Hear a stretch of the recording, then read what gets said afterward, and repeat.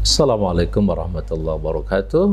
Alhamdulillah wassalatu wassalamu ala Rasulillah wa ala alihi wa ba'd. Selamat bergabung di khas kajian dan kelola hidup Anda dengan solusi.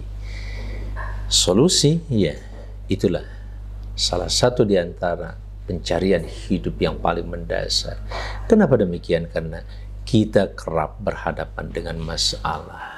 Kita mulai dengan Bismillahirrahmanirrahim. Ayat pertama kali diturunkan atau dibaca di dalam mushaf Al-Quran adalah kalimat ini dengan nama Allah yang maha pengasih lagi maha penyayang.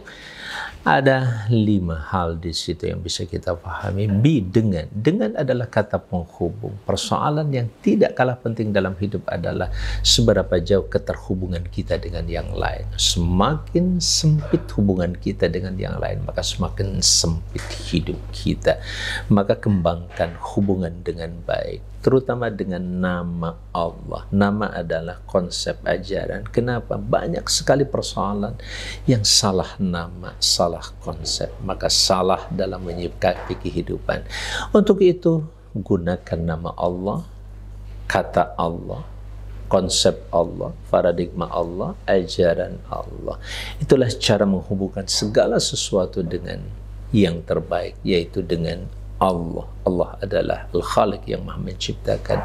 Persoalan dan problematika kehidupan manusia adalah tidak mengakui atau tidak menyadari bahwa dirinya telah diciptakan oleh yang maha menciptakan, oleh yang maha tahu, bahkan oleh yang maha merencanakan.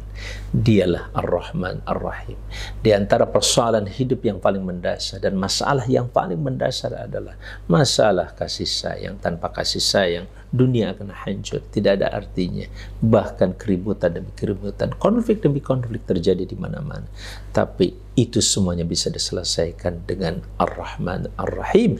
Apalagi kita langsung memohon kepada Allah yang Maha Pengasih lagi Maha Penyayang.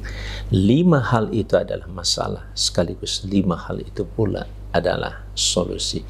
Jadilah bagian dari solusi, bukan masalah. Kontak siapapun dengan nama Allah dan sajikan rahmat Allah Subhanahu wa taala menjadi bagian dari rahmatnya. Assalamualaikum warahmatullahi wabarakatuh.